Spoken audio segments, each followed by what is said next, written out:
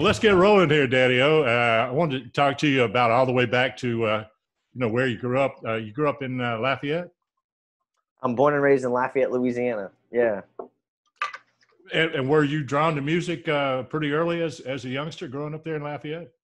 I, I was. Uh, it was mainly through my uh, my brother and sister. I'm I'm the youngest of three.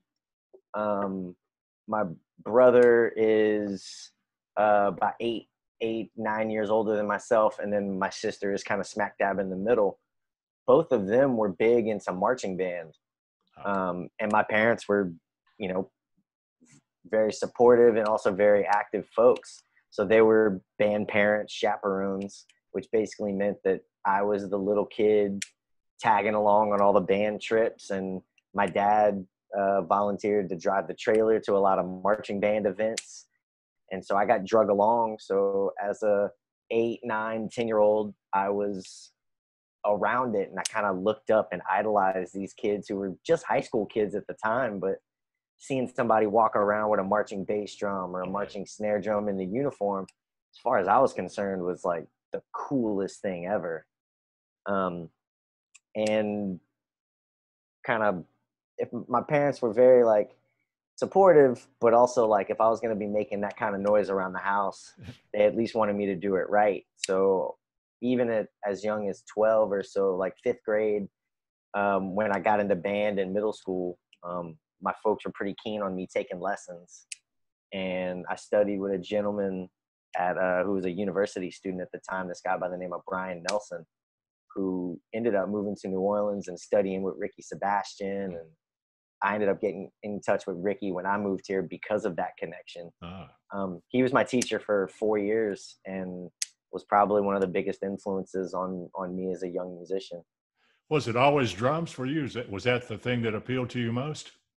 Uh, yeah, there was a there was a brief moment when I was a youngster uh, that I wanted to play tuba, but after constant uh, jokes that my, my grandfather was going to have to build me a wagon because the tuba was twice the size of me.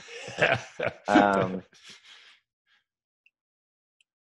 then yeah, I was just like, well, fine, I'm not going to play tuba anymore. So I, I, I, like to tell people that my first passion was wanting to play the tuba. I can't say that my first passion was tuba because I never actually played the thing.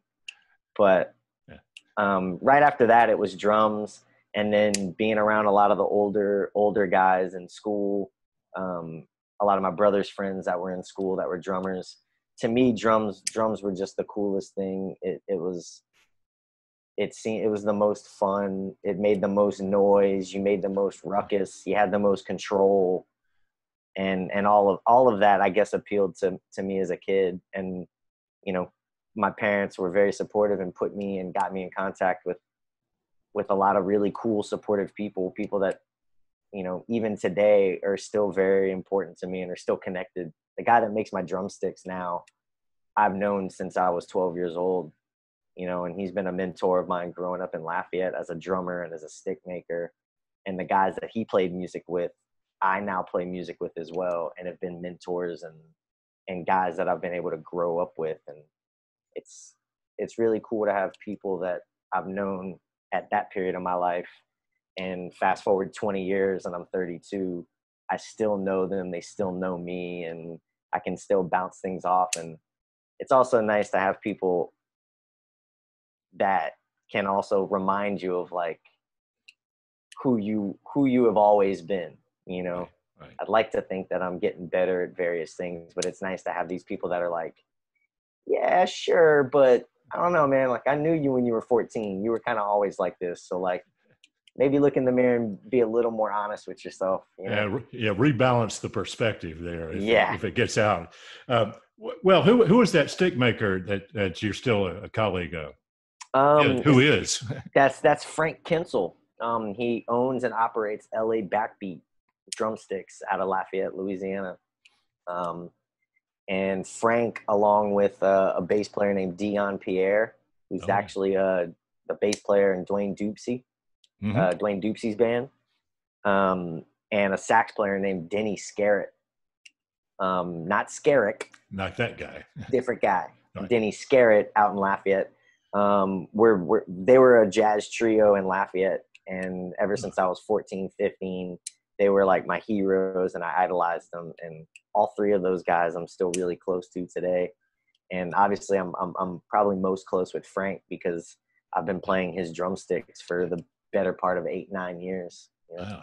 yeah, it's nice to have that kind of, like you were saying, that long-term relationship, especially someone as young as you, uh, to have had that long of experience with a group of people of, of such talent. Yeah, I, I I don't know if it's it's this reason, but it's one of those things that I'm I'm very happy to have been born and raised in South Louisiana, and right. you know, I'm sure people have this other where other parts of the country, other parts right. of the world, but for me, that's one of those like Southern hospitality, Southern community things of just like growing up in the South and having a community of people that you could rely on, and 20 years later, I'm still relying on, you know. Yeah. You know, John Vidacovich uh, told me, and I experienced this myself uh, as a tiny kid growing up in Mobile, where they had Mardi Gras, and that was that uh, his first kind of attraction to drums was being two, three years old. His mother take him to a parade, and the band marches by, and the bass drum is right in front of him, and mm-hmm. he can feel it in his chest. You know that vibration, and it just attracted him. Did you ever have that kind of? Was that kind of how you were uh, drawn, uh, affected by the rhythm percussion section of the bands? Probably. Um, there, it's hard for me to pinpoint like an exact moment, just because I, I, I, was, um, you know, eight, nine, ten years old, and so some of those memories are a bit blurry. But right, it for me it was seeing those guys hit something that big, make that amount of noise. Um, there was a couple year period where I was just kind of hanging out with all those people or like being around the band. Right. So for me, it's not necessarily a specific moment, but just like a period of, of my young life of like, as I got interested in it and as I started to take lessons, that was what drew me to it, you know? Right. So, so it, it was, it was out there and it kind of beckoned, but one, you had to get immersed a little bit to really. Yeah. Oh yeah, for sure. Get going. Well, uh, other than the music you were playing in the school bands, were you beginning to try your hand at other stuff as you got a little fluency on some of the instruments? Um, kinda. Um, drum set and and and improvisation wasn't really a focus for me until at least high school, if not even college. I was a I was a classical musician um, that's what that's what I studied. That's what that's what kind of pushed me through school. Um, I did do drum and bugle corps um, mm. for two summers in the pit. Actually, I played marimba and timpani uh, in Spirit of Atlanta uh, for two summers. My brother was in drum corps. My my parents like our whole family is kind of fans of DCI and drum and bugle corps. All right. Um, marching band's kind of a big thing in Lafayette, and so a lot of kids are exposed to to drum corps. Um, so even then, that was kind of the most, you know, aside from classical music, right. drum corps was what what I did for a couple years. Um, and yeah, actually, I mean, I went to college to study classical music as well. Um, by that point, I'd kind of started playing in like a funk band with some buddies from school, um, and took some drum set lessons here and there. But my my kind of main focus was was classical music. When when I left Lafayette to go to Boston for college, my goal was to be in the New York Philharmonic, the Boston Symphony. You know, my my goal was to be a classical musician full time. Were you able to get experience on a wide range of the percussion section uh, as you were in high school there? I was. Um, after studying with uh, with this guy Brian Nelson as a like a middle schooler in around eighth grade, freshman year of high school, I started studying with a professor at uh, the University of Louisiana Lafayette, um, guy named Jeff Prosperie. Um, Jeff was actually a long time uh, drum corps guy as well. Hmm. Um, he's actually in the DCI Hall of Fame as like a rudimental snare drummer, wow. and and arguably wrote the book on how to judge marching percussion. Um, and now doesn't live in Lafayette anymore. He's actually in the the Hellcats, the Marine Fife and Drum Corps. Wow. It's like if there was ever a position that was created for him, that was that was it, you know. Um, but I studied with him all through high school with the ideas of preparing myself to go to college specifically for for classical music. Um, so studying xylophone, you know, crash cymbals, tambourine, triangle, snare drum, all the excerpts, listening to all the all the classics, you know. That's kind of what dominated my high school years. And one of the things that uh, is required of a percussionist in those circumstances is the ability to stay focused and count. wait for wait for your turn. yeah. Well, there's a bit of a funny. I mean, it wasn't funny at the time. It was actually terrifying, but it's it's funny now. Um, when I was a junior in high school, I actually won the third percussion spot in the Acadiana Symphony. Um, that audition opened up, and at the time, my teacher Jeff, uh, he was in. Uh, he was the the principal in the orchestra, and the spot opened up and he was like yeah take the audition like you're 16 years old you probably won't get it but like it's good experience like yeah. if this is the life you want to live you're going to be taking auditions all over the world all the time until you land that job. Um, that was kind of my focus and my mindset at the time. And uh and lo and behold i, I took i did the audition and won. Um, which was really cool. Um, um, so I'm in the orchestra and can't I honestly can't remember what piece. I think there's part of me that's just scarred from this moment. but I in this entire probably like 25 minute piece, I had three notes. All three were epic crash cymbals. Like without the crash cymbals, there like that moment just wasn't it. It was all about me. And uh and the maestro uh uh Mariusz Smolij uh, born and raised in Poland, every sometimes he would get real excited, and you and and and if you weren't really on top of your game, you might kind of not understand what he was saying if you weren't focused. and for a better part of that rehearsal, he had been rehearsing just one of the string sections for this moment, and I was kind of mentally tuned in. And as they would get to the section, I would be like, "Boom! That's where my crash cymbal is going to be." I had it visualized, everything, how I was going to do it. Well, at some point, I missed him saying tutti, um, which classical musicians get that, but for, for non classical musicians, it, it means everybody. So in a rehearsal setting, he said tutti, which meant everyone. I missed it.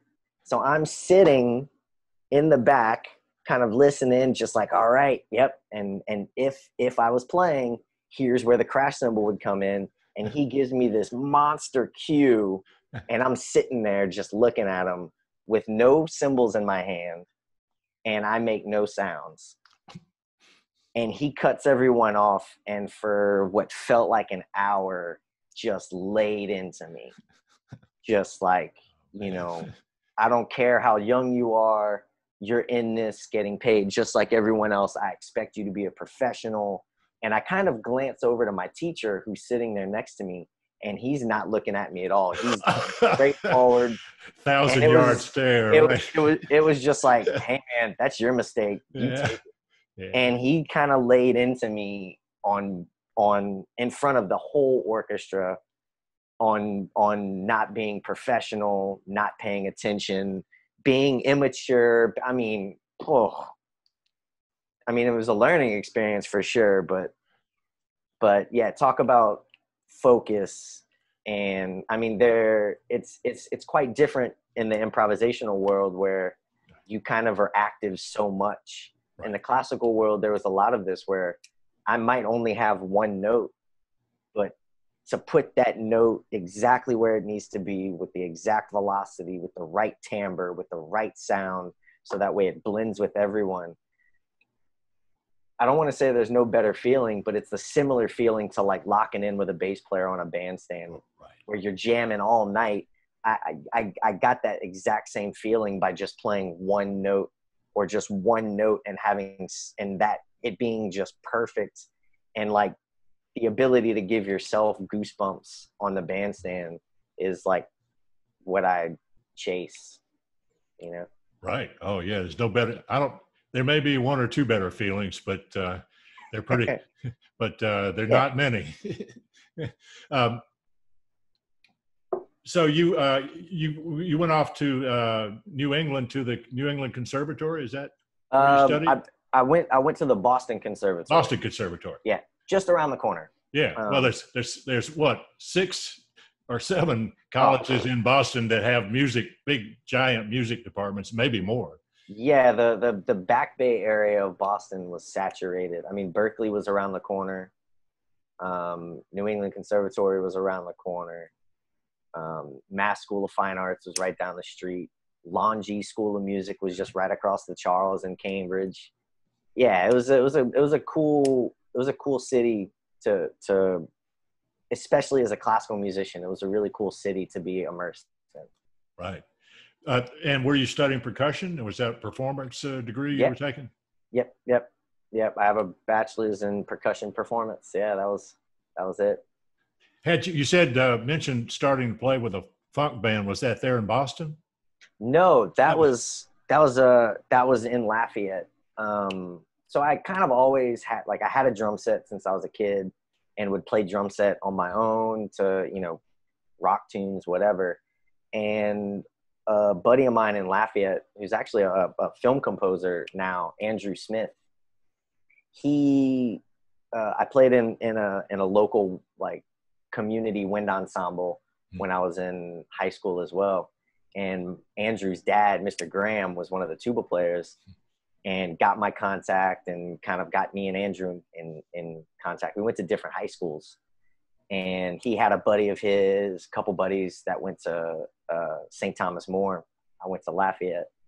And we all kind of met up at our buddy's pool house, you know, like kind of classic high school, you know, go to your buddy's pool house and jam. And uh, we're all still friends today. And in fact, the bass player is uh, Trey Boudreau, um, who is the touring bass player with the Revelers, but also right. Trey is the bassist and co-founder alongside Byron Asher and Sean Myers, two other young musicians here in New Orleans, uh, the band Nutria. Hmm. Um, Trey and I have basically shared almost every musical experience since we were 16, 17 years old playing in this high school funk band. And then once we both started getting into jazz and it, we just, we just constantly checked in with each other, even though I lived in Boston and he lived in Baton Rouge. We kept checking in with each other um, and kind of pushing each other to listen to more music and try out new things. Yeah. Uh, well, uh, jazz had uh, some of the older fellows you had you've known all these years had had been in, had a, their own trio, but it was more. Is it more in Boston that you began to get more deeply into into jazz?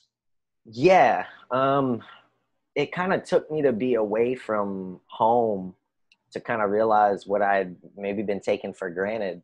You know, I got a little homesick. Um, I say a little homesick. I got like for real homesick and I like missed Mardi Gras and I missed all that stuff, which is kind of funny to people now because I'm not the biggest uh like reveler, if you will, and I'm not the biggest like Mardi Gras fan now, but back when I was 18, 19, it was a bit of a culture shock to leave South Louisiana and oh, go to Boston. Like, I didn't own a coat at the time. It's like winters sucked. It was cold. ice is terrible. I fell all the time. Like I didn't know how to walk on ice. Right. You know, and uh, and I just missed home, and I started to go back and listen to music that I kind of grew up on. So I started listening to Cajun and Zydeco music and listening to Mardi Gras music. And as you know, like the moment you start listening to Mardi Gras music and brass band music, it's not far off before you're listening to Louis Armstrong and you're listening to basically the entire lineage of jazz as it has come through New Orleans. And that was kind of when I realized like how incredible that music was and how much fun I had listening to it. And when I started to try and play it even more, um, that also kind of coincided with being very, being deeply immersed in a very, very kind of hyper focused, hyper technical uh, hyper competitive classical music environment Right. that is a very small conservatory in a city of other small conservatories where everything just like you're just so zoomed in um yeah I, I didn't like being so zoomed in and and i kind of uh didn't like being around classical musicians very much Did you Uh, happen to meet any of the uh, New Orleans guys that were either at Berklee or the Manhattan Conservatory and the, I mean, um the, uh, the uh, uh, New England Conservatory in those days? Uh, yeah. So I ended up actually getting a job working at uh, this place called the Regatta Bar in Cambridge. Yeah, I know. Um, at that, at, well, I guess kind of still. There's only really like two like proper jazz venues in Boston, and it's the Regatta Bar and Scullers. And uh, I ended up getting a job just as like a food runner. I, I was I was becoming more and more interested in improvisation, and as kind of like you know, classical kid by day, jazzer by night. I would go to the club and I would work at the club just wiping tables, running food, restocking the bar. But at the time, that club was booked by Blue Note. So all the Blue Note artists that came into Boston would all come through. So I got a chance to just see my heroes. And uh, at that time, Joe Dyson and Max Moran were both in Boston. And I remember seeing them play and introducing myself and just kind of saying hey so that was really like the first time i i'd i'd seen them in new orleans before but didn't meet them actually met them in in boston and i'm like you know i'm i'm probably one of joe's biggest fans man he's absolutely incredible but that was really one of the first times i like met them and saw them both play Yeah. Oh, Well, were you getting um, other? and I mean, you're pretty busy here. You're doing serious conservatory work by day, and uh, you know, um, waiting, uh, bussing tables at night. Uh, did you have a chance though to play some jazz with uh, some of your uh, peers? not really um yeah i wasn't really tapped into the the jam sessions that were going on at berklee and stuff like that a lot I, I did have access and studied with some teachers at berklee and i had the opportunity to take some electives and classes at berklee so i was able to take a, cou- class, couple classes and some lessons with ralph peterson Oh, good. Yeah. um he's he's awesome actually uh there was a group of us that were that kind of weren't able to go home one year for thanksgiving and he invited uh a handful of us over to his house in quincy and fed us all for thanksgiving funny story about that is victor gould was there Oh, um, who lived in New Orleans for for a few years with the Monk Institute. Um, Victor was also at Ralph's house that day for for Thanksgiving dinner, and then Ralph took us all into his studio in the basement, and we all just like hung out and played music. Um, and I was very much like way over my head. I mean, some of the guys that were at that at that Thanksgiving meal were pretty incredible. Mhm. Um, but uh, I also studied with Terri Lyne Carrington Mm. while I was while I was there. yeah. Um, I got a drummer named Neil Smith. Um, I kind of, yeah, I, I didn't really play too much with other people. I didn't, I didn't, like I said, I wasn't really tapped into that, uh, that world of Boston, um, and that kind of like underground uh, jam scene that Berklee's got going on. Um, but between school, between kind of studying with some of these teachers, and between being at the club three, four nights a week, Right. I mean, that was that was probably the best education Yeah. that I didn't even realize I was getting. You know, Yeah. What about writing music, Brad? Were you were you beginning to get into that? Uh, uh, thinking about that at all? I mean, composing for the classical world, even. um, aside from some of my my uh, like classes that I that we had to do some composing for, you know, I took a you know had to take species counterpoint. So it was, you know, all the classical things of just like, you know, no parallel octaves, no parallel fifths. How do you negotiate this figured bass? All that kind of stuff. Um, I did okay with it and enjoyed it, kind of, but composition wasn't really something I, I, I, I thought about very much. Even as I did start to want to play more jazz and, and spend more of my time behind the drum set as opposed to you know the, Mm. the the bandstand as opposed to the concert hall Right. um, composition was still a bit away from me. I, I didn't I didn't really get into that until until I moved to New Orleans. Yeah. Um, and that was really more of just being surrounded by some some some very supportive friends of mine that pushed me to to compose. How was the uh, classical performance scene in Boston? Did you get, get a chance to uh, play some while you were in school, um, outside of school? I did. Um, there was uh, I, I had a stint with the Lexington Symphony, um, which was like another kind of like regional orchestra. Um, I did some some uh, actually I, I did a bunch of gigs out there, and then the same conductor from that group was also the conductor of the Longwood Medical Symphony. It was an orchestra comprised mostly of doctors and nurses. And when they didn't have enough people to round out the orchestra, they would call in some ringers. And mostly it would be a lot of the, the conservatory kids that were around looking for opportunities to play. Um, but uh, the conductor at the time was this guy named Jonathan McPhee, who has done some guest conducting with the Boston Pops at the time. Um, I played in that orchestra then, and then he got me involved in the Lexington Symphony. So that was probably the most like outside performance Right. stuff I did outside of school. So, did you go straight through uh, and finish your degree like uh, four years? I did. Um, yeah, four years in Boston. I stuck around until the summertime, and then I moved to New Orleans that summer of 2010. Yeah.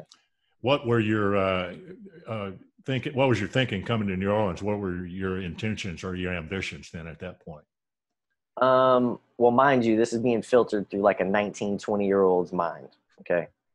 But at the time, um, each summer I was coming back to, to Lafayette and, and Trey and I and Dion and Frank. There was a small scene at this pizza place in Lafayette called Desbanos. Um, and they had a jazz night every uh, Thursday and a jazz jam every Tuesday. So every summer I was pushing more to play jazz and experiment. And probably by the time I was a junior in college, I had kind of not wanted to pursue classical music anymore and pursue being a an impro- improviser and a jazz drummer. Um, and on my parents' request, um, they kind of wanted me to finish my school. They gave me one opportunity to transfer if I really wanted to go to another school. But my dad was like, I, whether you realize it or not, I think the benefit that you're getting from studying classical music, you maybe you don't realize it now. Maybe you're saying classical musicians are all stuffy and you don't like it and it's stiff. But the older you get, the more you're going to realize just how good of a good of an environment that was to be a young musician. And you know, I that was 2010. It's 10 years later, and my I, you know I can honestly say I don't think my dad could have been more right. I don't think he even realizes just how right he is about that. Yeah. Um, Well, yeah. Well, Oscar, Oscar told me, Oscar Rossignoli told me the same thing. Basically, at LSU, his advisor said, "Look, stay in the classical program. You can go to New Orleans and hang out on the jazz scene and play with people better than you are there and right now and learn. Uh, but you'll never be able to replace this environment of, you know, here. You'll you'll get such a foundation. That's that, that's so true. That's so true. Yeah. So you guys had got that same advice from di- different quarters, but uh, both both I think look back on it as as absolutely the right thing to have done. Oh, Fred, you still there? Yeah. Yeah. I'm here. You lose me. Hello. Oh, yep. There you go. Okay. We're back. Yeah. all right. All right. Um, Um, yeah. Um, I was just saying, uh, you both got that advice, and it turned out from different. You from your dad, he from that uh, professor, but it both turned out to be what you consider excellent. Uh, Oh yeah, for sure, for sure. And I was I was also quite fortunate that the teachers that I had in Boston, it there there, there was a couple uh, there's a few year period once again just being a, a a teenager and a college kid and you're trying to figure things out and figure out who you are and what you want to do and how you want to do it. But in my mind, I kind of thought that there was this like hidden thing. I didn't think anybody knew that I was having this like inner turmoil of like whether I wanted to pursue classical music or pursue jazz. Um, I've kind of since getting rid of almost all my school material except this one paper that I had to write for a class, and the title of it is Classical Verse Jazz. And one of the the only kind of uh, markouts in red ink that my teacher made was he just scratched out verses. Hmm. And then the rest of it, he just made some comments, and and he was the um, he was the prof- or the teacher of this orchestral repertoire class we had to take um, early on, and he was active in the Boston music scene. And he was kind of quick to just be like, I don't think it's verses. It's like music is music, like whatever you like. Maybe you have to come up with like a professional way of, you know, mm-hmm. progressing through it. But like, you know, don't worry about it. That was kind of one of the only times I had like an outward, like actually said it that like I was kind of going through this. Like, I don't really know right. how I want to progress through this, but I don't feel the most connected with living my life as a classical musician, but I also don't really know how to move forward as an improviser. And I thought that it was just like an internal thing. Turns out, like years later, I look back on it. I'm pretty sure all my teachers were just sitting there, just like, yeah, we could see it. It's like it's like it's I had it tattooed across my forehead, you know. Because I look back and and they put me in in scenarios where I benefited from that kind of stuff. I played a lot of the pit shows in the theater because oh, right. I was playing drum set, and I was and they put me in in more experimental and more improvisatory um, concerts. Right. And looking back on it, it's like they obviously knew where my interest lied, even though maybe I didn't completely know. Yeah. And that's just kind of the you know those are just good teachers. Right. Even though I think at the time I was probably like you know, I definitely butted heads with my teachers, and and I I got kicked out of two lessons with uh the, my marimba teacher Nancy Zeltsman for not being prepared and not being focused and and like I think about being kicked out of those two lessons probably more than I think about most things. Yeah, for, it, for what it meant and just for like, you know, it's not wrong to want to do other things, but college is a time where you learn you learn how to be a professional. You know, you learn you're you're trying to learn when to stand up for yourself and speak up. And then you're also trying to learn when to keep your mouth shut and just be a professional and do the job. And most of colleges you do the wrong thing at the wrong time. But the ramifications are that you don't lose your job or you don't get fired or you don't burn bridges. You just have a teacher that says, Cool, like good for speaking up right now, but maybe this was a time you should have been a professional and oh, that time you kind of got caught with your pants down. Yeah, maybe maybe that was the time that you should have actually held back and and just like did the job that you needed to do. That was kind of one of those moments of just like, yeah, cool. Like you work at the jazz club and you want to play drum set, but you agreed to do this lesson today at this time and you weren't prepared. So I'd rather eat my lunch and have and have and have like an extra hour of my day than to sit here you know wasting each other's time. Yeah disrespecting the uh, teacher as much as uh, and, and the, as much as the lesson. Mm-hmm, mm-hmm. yeah. Uh, for sure.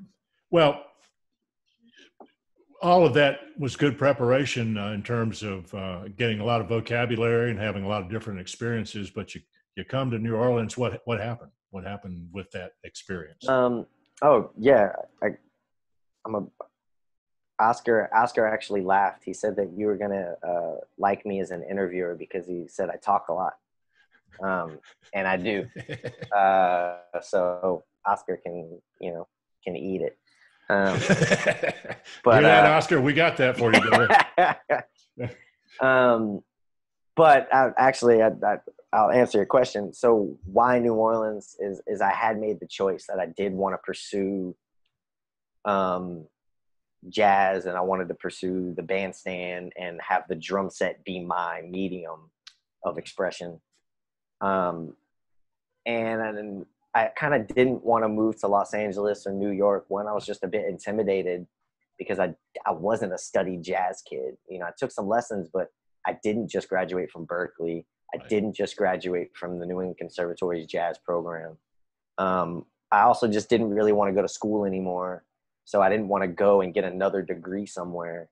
So for me, it really came down to like what city and environment do I want to be molded by? Um, I would also say that it was probably just because I was homesick and I just wanted to be back in the South and I wanted to be closer to my family. But also, even just visiting New Orleans as a kid and coming to New Orleans a couple times throughout college, that was the kind of community environment that I wanted to be surrounded by. And if and if there was going to be some thread, whether I ended up staying in New Orleans for the rest of my life or whether I moved on and played other kinds of music in other cities, I kind of wanted my early foundation to be what what the New Orleans music scene has to offer, which in my opinion is community, it's joy, it's happiness. Even though a lot of the music I play might not be the most danceable party music, I'd like to think and I surely hope that my time here pulls from that and draws from that kind of happy, joyous smile on your face, even in the face of uh, of sadness, there's still a joy to the way that people go about their life here. And not to say that maybe moving to New York wouldn't have been good for me, but I wasn't prepared to deal with that kind of like cutthroat, bitter mm-hmm. cold, right. Kind of New York jazz scene. At least once again, like as a 19, 20 year old right. thinking about this, that's that's not where my head was at that time. Um, and then I had some friends here, and my family was here, and it wasn't you know snowing and cold so all good all good stuff yeah all did of I mention, above. did i mention the snow and the cold did i mention i believe you did maybe once we got to get you a coat man Yeah. just in case you ever have to go back but yeah. um, um, the um, um, yeah that's a thing that's i've always loved about new orleans uh, is that if you come here with an, an, open mind and a good heart, they will embrace you. Mm-hmm. Uh, uh, and if you kind of shut up and pay attention for a while and learn what's going on, they'll embrace you even more. Mm-hmm. You know, it's it, it is a welcoming city if you come to it with the right attitude, and and its creative community, music uh, being just one aspect. There's writing and visual art communities, all you know, all the arts all the creative endeavors seem to have uh, a pretty good uh, representation in New Orleans. Yeah, that's the best way of putting it. Because it, it's not to say that other cities aren't welcoming and, and, and, and open to arts and stuff, but New Orleans is one of those places that if you're it's it's not hard to get in tune with the vibration of this city, if you will, and when you do so, there's so many people and so many uh, different artists and non-artists that are willing to just open their arms and and bring in. It was, it was a great it's a great place to be a, a young artist. Um, yeah. Absolutely phenomenal place to be a young artist. Right. Know, for that reason. Yeah. It's um the um well who did you get to uh, start working with brad as, as you arrived in town what kind of uh, opportunities did you find um like like a lot of youngsters, I I I, I, I kind of quickly found the the Frenchmen Street music scene. Um, I, like I said, I was very fortunate that that my lifelong friend Trey Boudreau, um, he was over at LSU and was already spending a lot of time in New Orleans, um, and was already gigging and going out. So he and I actually moved to New Orleans together. He he came to Boston with a suitcase and his bass and we packed my car and drove from Boston to New Orleans and moved into together. Um, I, I, mean, when I say we shared almost all of our musical experiences together, I mean we shared all of our musical experiences. Um, yeah. That being one of the biggest ones of actually making that move together. Um, so through him, I, I kind of got introduced to the Frenchmen Street scene um, and did the you know sit sat in with some people. Um, I, one of the first groups I had was a a chordless trio with Trey on upright bass and uh, a tenor sax player named Matt Gooden, uh, who went by the name Rev. We had a band called The Big Way. Hmm. Um, and that was actually where I got my first introduction into actually composing hmm. um, from like music. Um, that group um, uh, through the drummer Dave Shirley, who's the drummer in Sweet Crude, uh, who actually just put out a new record, uh, which is dope.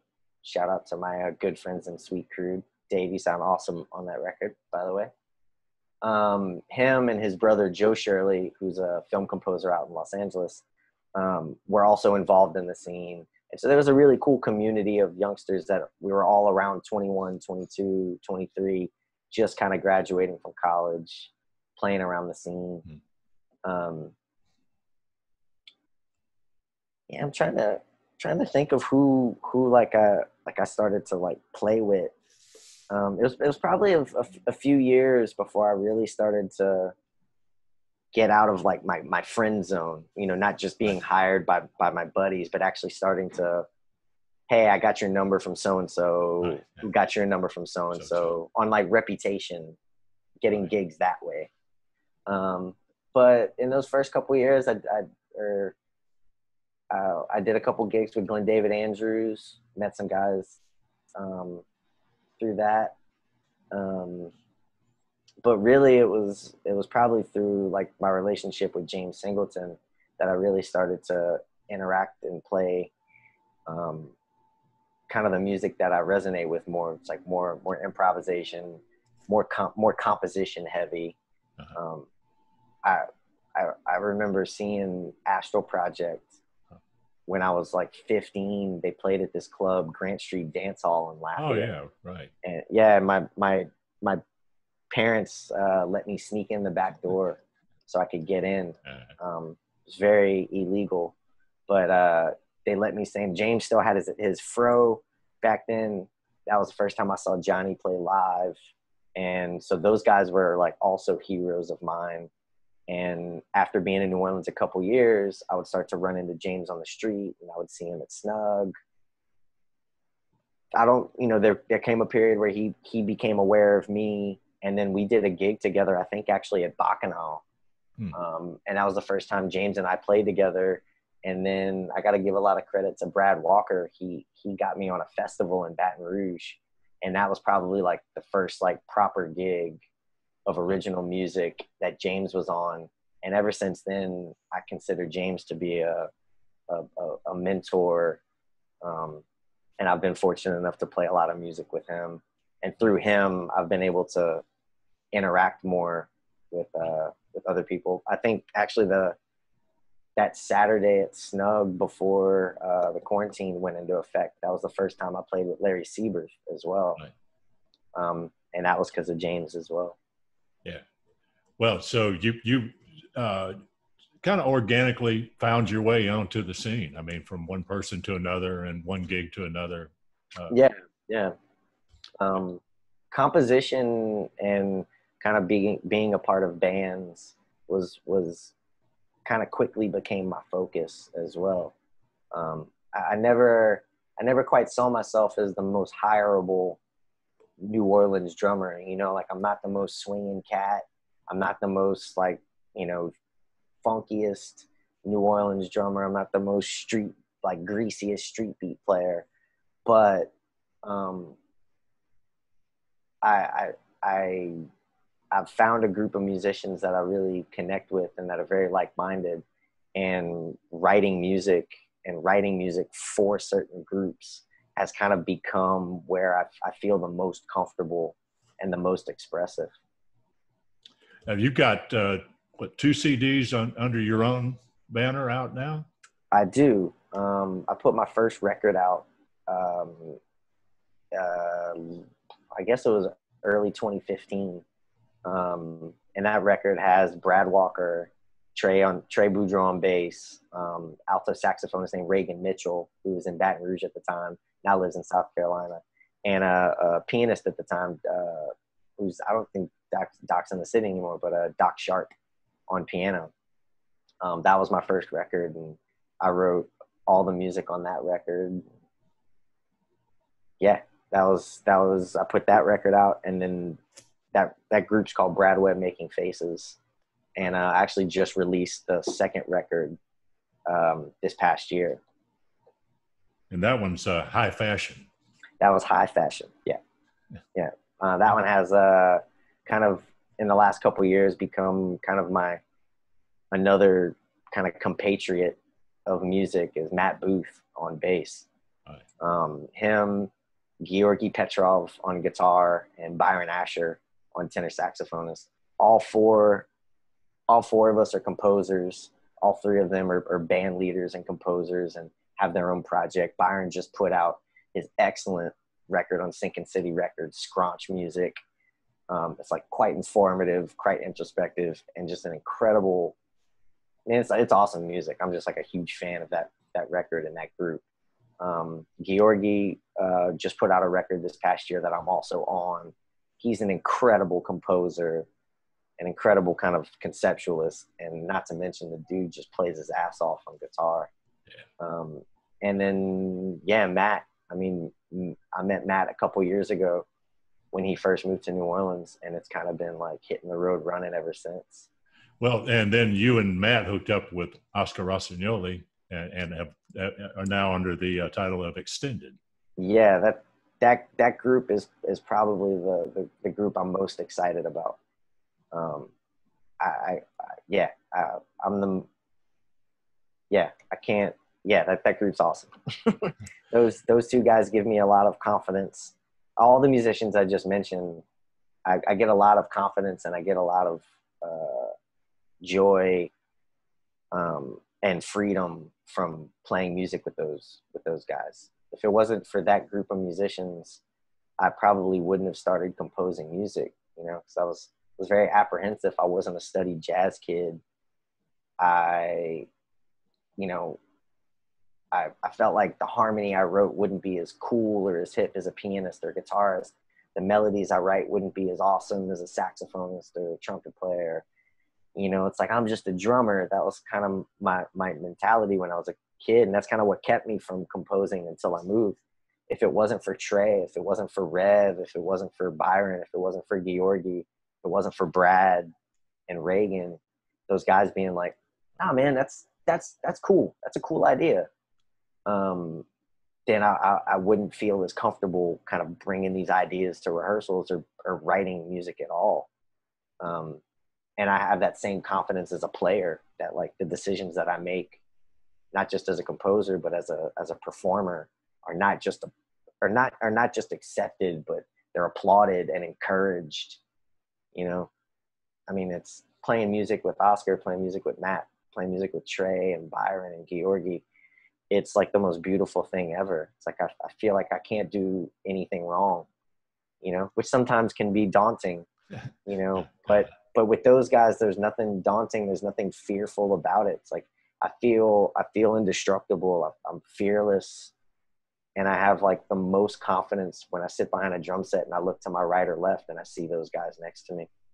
Well, you you're in the I think the enviable position, Brad, of having found a set of colleagues some of them are fairly long standing, but uh, still at uh, you know fairly uh, early in life. I mean, who knows? None of us know how long we have, but mm-hmm. Uh, you've got a chance to to work with these guys now, maybe for who knows, thirty years. Man, I sure hope so. Um, and and yeah, you're you're you're quite right. Um, you know, it's easy to, to to sometimes maybe get caught up in what you think you want to do musically and and it's also easy to kind of compare yourself to others and think that that you need to chase that and be equivalent or just as good um because man like this city has an incredible amount of musicians and if you really even just narrow it down to drummers like holy crap man yeah it's like tough yeah. you know like I, I know i know joe dyson lives in brooklyn now but he spends enough time in new orleans it's like you see him play and it's like oh man like that's incredible. Um, I mean, AJ Hall is an incredible drummer. I don't think he and I could be any any similar as drummers, but just seeing the way that dude creates and produces and and watch and like yeah. hearing him play with Jon Cleary's band is like absolutely incredible.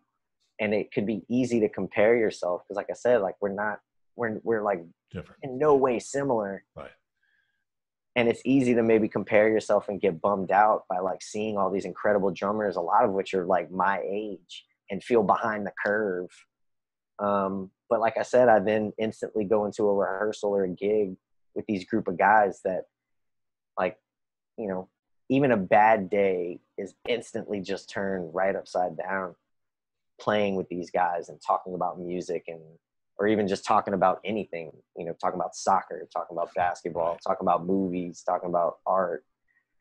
You know instantly i'm just in a better place and i have a, a lot more confidence to know that like yeah like I, I am making the right choice and i am like pushing towards the things that i truly want.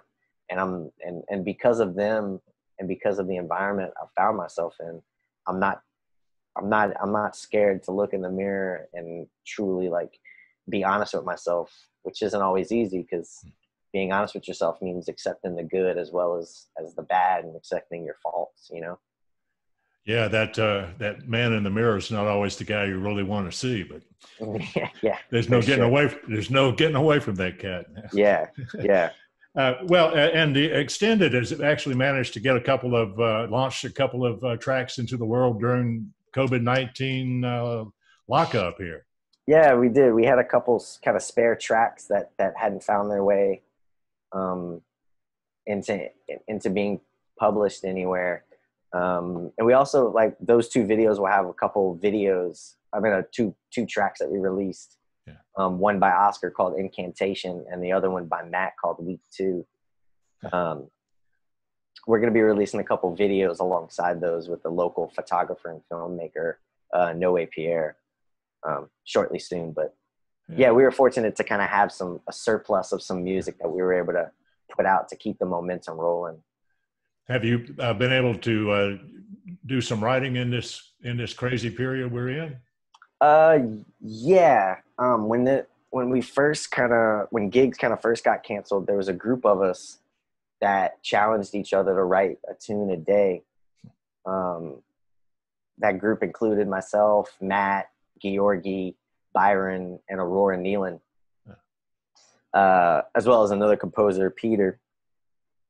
And yeah, we have like a, a Google Drive that we uploaded our tunes every day it was a bit overwhelming to actually try to like churn out that kind of material and i don't think a lot of it is actually that good but it the practice of being able to sit down and compose there's been a little bit of writing done and uh in that regards and kind of conceptualizing new music um and then me matt and oscar had on the books uh we were supposed to record our third record uh the first week in may um that actually got pushed back um, the goal is is still to go in the studio in June and record our record. So um, in the last couple weeks, we've been able to, uh, you know, to get together a couple times and rehearse and work on new material. So and try to keep the momentum the momentum going.